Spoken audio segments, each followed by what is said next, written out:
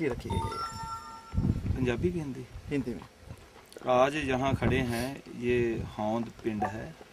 हौंद चिल्लड़ चिल्लड़ आगे पिंड है। दोनों का नाम हौंद चिल्लड़ कहा जाता है।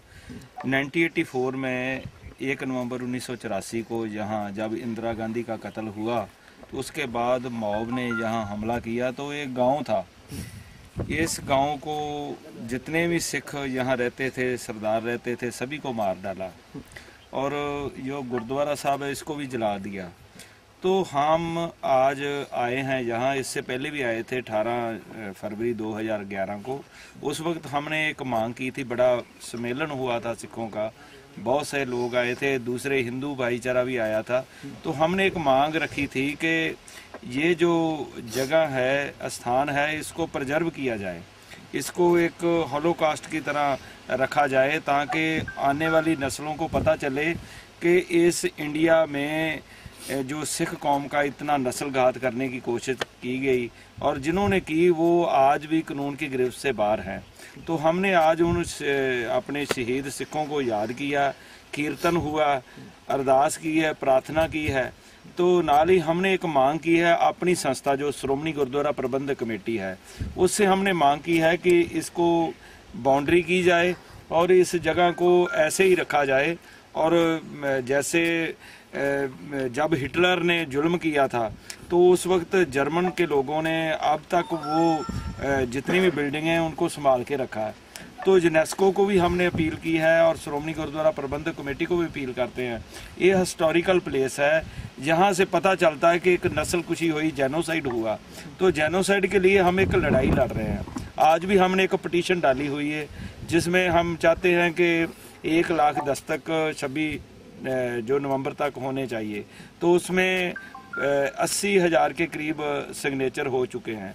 तो हम यहाँ आए हैं, अखिल भारतीय सिख छात्र संघ है, जो 1984 जस्टिस विक्टिम वेलफेयर सोसाइटी है और सिंह सभा गुरुद्वारा गुड़गांव है। उसके प्रेसिडेंट भी यहाँ आए हैं। जितने भी लोग हम यहाँ आए हैं, हमारी एक ही मांग है कि इंडिया की गवर्नमेंट, मोदी सरकार है, जो उन्होंने एसआईटी बनाई है। एक तो एसआईटी का फैसला जल्दी होना चाहिए और सिखों को न्याय मिलना चाहिए। दूसरा जो यहाँ फिर दोबारा वो परिवारों के जो लोग हैं, उनको दोबारा यहाँ बसाना चाहिए। यहाँ उनको लाकर उनकी ज़मीन जायदाद जो भी जिस पर कब्जा किया गया वो सारी उनको दोबारा मिलनी चाहिए। 2011 से अब तक बहुत लंबा वक्त बीत चुका है। काफ़ी बयानबाजी काफ़ी भाषणबाजी यहाँ पे हुई हाँ है। जी। किसकी कमी मानते हैं अब तक? बिल्कुल, अब तक बिल्कुल। कोई काम यहाँ पे शुरू नहीं हो सका है। देखिए इसके लिए पहले तो जो टीपी गर्ग का एक एक मेमोरी कमीशन बना था तो उन्होंने पाबंदी लगा दी थी। उन्होंने कहा था कि एज इट रहना चाहिए स्टेटस को कि पहले ये पता कीजिए कि ये जगह किसकी है।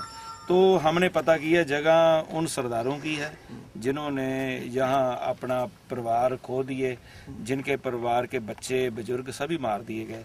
तो हमारी कमी तो है ही है। कि हमारी कम्युनिटी के जो लोग हैं, उनको हमने आज अपील की है। हमने सरकार को अपील नहीं की, हम अपने लोगों को अपील कर रहे हैं को आगे आए। तो यहाँ एक सुंदर गुरुद्वारा बनना चाहिए धर्म स्थान बनना चाहिए, जहाँ सभी लोग आते हैं, आए और मत्था टेकें और जो सरबत के भले का हमारा मिशन है, उसको लेकर जाएँ। और नाल ही हम चाहते हैं कि जो जो होलोकास्ट एक पूरा ये जो जेनोसाइड मेमोरियल वो बनना चाहिए। तो उसके लिए हम किससे मांग कर रहे हैं? ये श्रोमणी गुरुद्वारा प्रबंधक कमेटी से जो हमारी एसजीपीसी है उन्होंने एक उनकी एग्जेक्टिव में मता भी पास हो चुका है। क्या उनसे जुड़े लोग यहाँ पे मौजूद हैं इस वक्त? देखिए उनके हम जितने भी लोग हैं श्रोमणी गुरुद्वारा प्रबंधक कमेटी को ही बनाते हैं। हम वो ही लोग हैं लेकिन जो प्रेजेंट उनका सेटअप है उन लोगों को हम जो हमारे प्रधान हैं जो एग्जेक्टिव मेंबर हैं जनरल सेक्रेटरी हैं सभी को हम अपील कर रहे हैं। तो क्या कोई समय सीमा तय की गई है कि क्योंकि 2011 से अभी काफ़ी लंबा देखिए हो है। अब हुन इतना टाइम नहीं लगेगा। हम जल्दी से जल्दी जैसे आ जाए हैं आगे एक बड़ा सम्मेलन भी किया जाएगा और लोगों को जागृत करेंगे। ये जो जेनोसाइड मेमोरियल है इसको हमारी जो नस्लें हैं बच्चे हैं उनको पतना पता होना चाहिए कि हमारे साथ क्या हुआ था। तो उसके लिए हम तैतीस साल और उन्नीस दिन आज हो गए एक एक दिन हम गिनते हैं। त्रिलोकपुरी जो है वहाँ भी छब्बीस तारीख को नवंबर में जब भी ये दिन आते हैं तो हम पहले तिलक विहार में एक, दो, तीन नवंबर मनाते हैं। उसके बाद लोकप्रिय बड़ा स्थान है, वहाँ भी छब्बीस तारीख को मनाएँगे।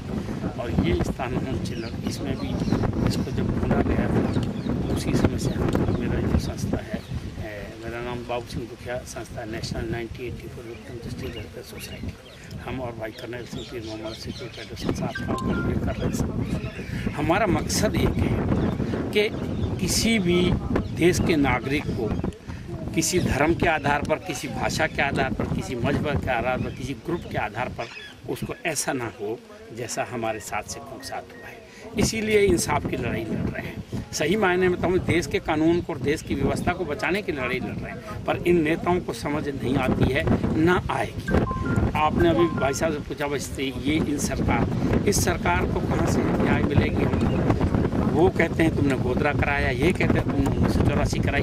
अब इन सरकारों के बीच में हम फुटबॉल बने हुए हैं। कोई इधर लात मारता है, कोई उधर लात मारता है। सच मानने तो ये अपने देश के संविधान को और और इस देश की व्यवस्था को लात मार रहे हैं और सत्ता पे काबिज होकर राज कर रहे हैं, ऐश कर रहे हैं। इनसे कोई उम्मीद नहीं है। अगर उम्मीद होती तो उसके कारण आप हमसे पत्रकार और बुद्धिजीवी आपको हमसे ज़्यादा मालूम है, सोच रहे हैं कि आज तैतीस साल तक एक भी आदमी बंद नहीं है। एक भी आदमी को सजा नहीं है, एक भी आदमी जेल में नहीं है। फिर जिनको जेल होनी चाहिए, जिनके खिलाफ बयान हैं, जिनको जितनी एसआईटी और जितने आयोग बने उन आयोगों ने गुनाहगारों को जस्टिफाई किया है जो हम नहीं हैं सिख नहीं हैं और देश के बुद्धिजीवी और जज हैं। फिर भी उनको जेल तक नहीं डाला गया।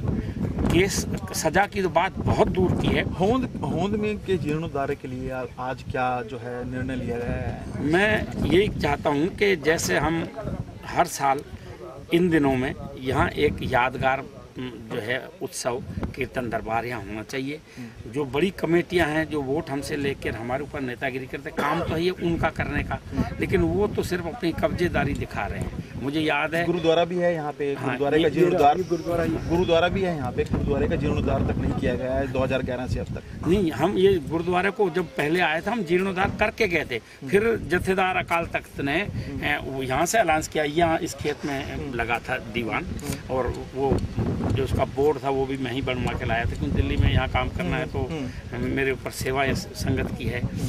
वो सब कुछ हमने किया इन्होंने यस किया। अकालदार अकाल तक जथेदार जब बोल दे उसके बाद तो बात कुछ नहीं रह जाती है।